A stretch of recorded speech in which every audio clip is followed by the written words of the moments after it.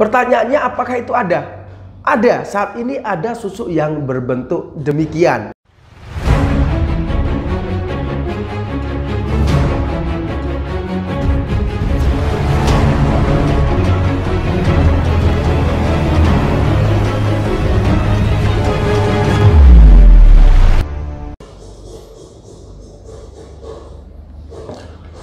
Bentuk susu yang paling diminati karena halal tanpa ada pasangan itu yang bagaimana Mas Haji? Mindset orang itu kebanyakan berpikir susu itu berupa emas yang dimasukkan di alis, eh, di sekitar mata, di hidung, di mulut, eh, di pipi supaya ada aura di tempat-tempat tersebut kelihatan lebih wah gitu bisa kelihatan lebih cantik, bisa kelihatan lebih bagus, kelihatan wow atau keren begitu. Tetapi saat ini banyak bentuk susuk yang berbeda, bukan berbentuk seperti jarum emas yang dimasukkan, tidak begitu.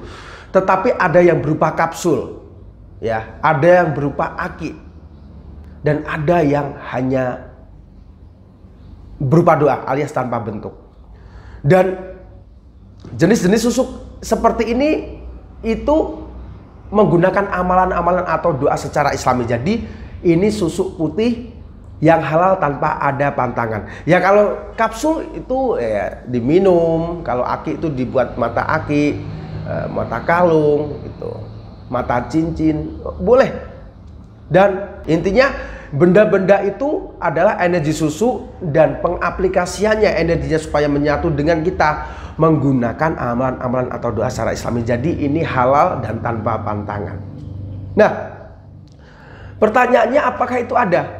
Ada, saat ini ada susu yang berbentuk demikian.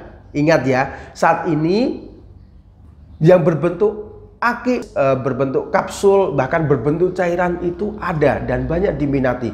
Karena banyak yang berpikir kalau susu berbentuk jarum emas dimasukkan di alis, uh, di sekitar mata, di hidung, di bibir, uh, di mulut itu banyak yang takut karena mindsetnya nanti dimasukkan itu kayak disuntik jarum begitu.